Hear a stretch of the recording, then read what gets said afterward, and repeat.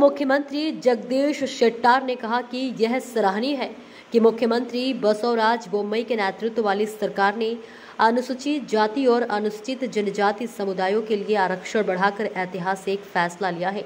श्री महर्षि वाल्मीकि जयंती के अवसर पर उन्होंने शहर के शीशे के घर में वाल्मीकि की प्रतिमा पर माल्यार्पण किया और फिर पत्रकारों से बात की। उन्होंने कहा कि अनुसूचित जाति को रुपए मिलेंगे सत्रह प्रतिशत और अनुसूचित जनजाति को पंद्रह प्रतिशत आरक्षण। उन्होंने कहा कि तीन से सात तक आरक्षण लागू होना स्वागत योग्य है। कई वर्षों से अनुसूचित जाति और जनजाति के लिए आरक्षण की मांग की जा रही थी।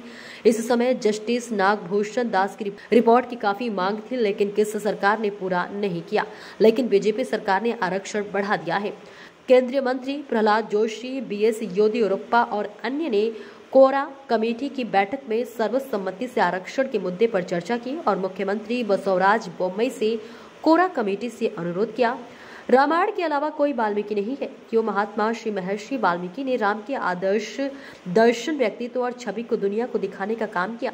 आज उनकी जयंती मनाई जा रही है और उन्होंने हमें श्री वाल्मीकि के सामाजिक संदेश को लागू करके उन्हें श्रद्धांजलि देने का आह्वान किया।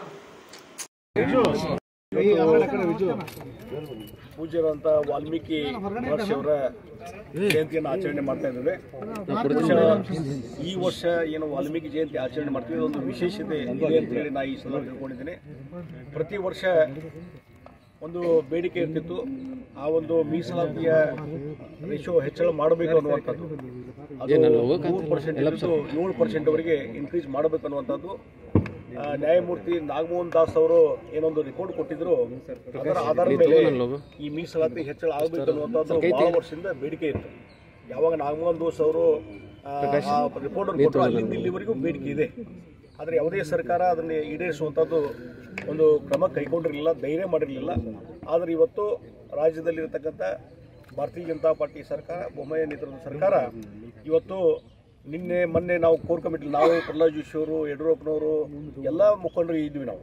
ಆ ಸಂದರ್ಭದಲ್ಲಿ ಆ ಭಾರತೀಯ ಜನತಾ ಪಾರ್ಟಿಯ ಕೋರ್ ಕಮಿಟಿ ಸರ್ವಸಮ್ಮತವಾಗಿ ಆ ಒಂದು ಮೀಸಲಾತಿ ಹೆಚ್ಚಳಕ್ಕೆ ನಾಗಮೋಹನ್ ದಾಸ್ ಅವರು ವರದಿ ಅದನ್ನು ಜಾರಿ ಮಾಡಬೇಕಂತ ಹೇಳಿ ಅವತ್ತು ಮುಖ್ಯಮಂತ್ರಿಗಳಿಗೆ ನಮ್ಮ ಕೋರ್ ಕಮಿಟಿಯಿಂದ ಆಗ್ರಹ ಮಾಡಿ ಅಲ್ಲಿ ನಿರ್ಣಯವನ್ನು ಪಾಸ್ ಮಾಡಲಾಯಿತು. ನಂತರ ತಕ್ಷಣವೇ ಆಲ್ ಪಾರ್ಟಿ ಮೀಟಿಂಗ್ದಲ್ಲಿ ಅವರು ನಿರ್ಧಾರ ಕೈಗೊಂಡರು. ಮತ್ತು ನಿನ್ನೆ ಕ್ಯಾಬಿನೆಟ್ದಲ್ಲಿ ಸಹಿತ ಆ ಒಂದು ನಿರ್ಧಾರಕ್ಕೆ ಒಂದು ಸರ್ಕಾರದ ಒಂದು ಅಸ್ತುವನ್ನು ಕೊಟ್ಟಿದ್ದಾರೆ. ಹೀಗಾಗಿ ಒಪ್ಪಿಗೆಯನ್ನು ಕೊಟ್ಟಿದ್ದಾರೆ. ಈ ಹಿನ್ನೆಲೆಯಲ್ಲಿ ಭಾಳ ವರ್ಷದ ಬೇಡಿಕೆ ಸಮಾಜದ್ದು ಏಳು ಪರ್ಸೆಂಟ್ ಇನ್ಕ್ರೀಸ್ ಮಾಡ್ಬೇಕಂದ್ರೆ ಅದನ್ನು ಆಗಿದೆ. ಮತ್ತು ಎಸ್ ಸಿ ಜನಾಂಗದವ್ರಿಗೆ ಇವತ್ತು ಏನೋ ಫಿಫ್ಟೀನ್ ಪರ್ಸೆಂಟ್ ಇತ್ತು. ಅದು ಎರಡು ಪರ್ಸೆಂಟ್ ಜಾಸ್ತಿ ಮಾಡ್ಬೇಕು ಅನ್ನುವಂಥದ್ದು. ಅದು ಒಂದು ನಿರ್ಧಾರ. ಬಹುಶಃ ಇದೊಂದು ಐತಿಹಾಸಿಕ ನಿರ್ಧಾರ. ಈ ನಿರ್ಧಾರವನ್ನು ಕೈಗೊಂಡ ರಾಜ್ಯ ಸರ್ಕಾರಕ್ಕೆ ನಾನು ಅಭಿನಂದನೆಗಳನ್ನ ಸಲ್ಲಿಸ್ತಾ ಇದ್ದೇನೆ ಅನ್ನುವಂಥದ್ದು ಈ ಸಂದರ್ಭದಲ್ಲಿ ಹೇಳ್ತೀನಿ. ಹೀಗಾಗಿ ಇವತ್ತು ವಾಲ್ಮೀಕಿ ಅವರ ಒಂದು ಏನೋ ಒಂದು ಮಾರ್ಗದರ್ಶನ ಇದೆ. ಅವರೇನೋ ರಾಮಾಯಣ ಬರೆಯೋ ಮುಖಾಂತರ. ಇವತ್ತಿನ ರಾಮಾಯಣದ ಬಗ್ಗೆ ನಾವು ಮಾತಾಡೋದಾದ್ರೆ ಅದು ವಾಲ್ಮೀಕಿ ರಾಮಾಯಣ ಅಂತ ಹೇಳ್ತೀವಿ ನಾವು. ಹೀಗಾಗಿ ವಾಲ್ಮೀಕಿ ಮತ್ತು ರಾಮಾಯಣ ಬಿಟ್ಟಿಲ್ಲ. ರಾಮ ಮತ್ತು ವಾಲ್ಮೀಕಿ ಬಿಟ್ಟಿಲ್ಲ. ಹೀಗಾಗಿ ರಾಮನ ಒಂದು ಚಿತ್ರಣ ವ್ಯಕ್ತಿತ್ವವನ್ನು ಕ್ರಿಯೇಟ್ ಮಾಡಿ ರಾಮನ ಒಂದೇನೋ ಆದರ್ಶ ಪುರುಷ ಇದೆ. ಅದನ್ನು ಇವತ್ತು ಜಗತ್ತಿಗೆ ತೋರಿಸಿಕೊಡುವಂಥ ಕೆಲಸವನ್ನು ಇವತ್ತು ಯಾರಾದರೂ ಮಾಡಿದರೆ ಅದು ವಾಲ್ಮೀಕಿ ಅವರು ಮಾಡಿದ್ದಾರೆ. ಹೀಗಾಗಿ ಅಂಥ ಮಹಾಪುರುಷರ ಒಂದು ವಾಲ್ಮೀಕಿ ಜಯಂತಿಯನ್ನು ಇವತ್ತು ಆಚರಣೆ ಮಾಡ್ತಿದ್ದೇವೆ. ಅವರ ಒಂದು ಏನು ಸಮಾಜಕ್ಕೆ ಸಂದೇಶ ಕೊಟ್ಟಿದ್ದಾರೆ. ಅದನ್ನು ನಾವು ಸಾಧನೆ ಮಾಡುವ ಮುಖಾಂತರ, ಅದನ್ನು ಫಾಲೋ ಮಾಡುವ ಮುಖಾಂತರ ವಾಲ್ಮೀಕಿ ಅವರಿಗೆ ಇನ್ನೂ ಹೆಚ್ಚಿನ ಗೌರವ ಕೊಡುವಂಥ ಕೆಲಸ ಆಗಲಿ ಅಂತೇಳಿ ಈ ಸಂದರ್ಭದಲ್ಲಿ ನಾನು ದೇವರಲ್ಲಿ ಪ್ರಾರ್ಥನೆ ಮಾಡ್ತೀನಿ.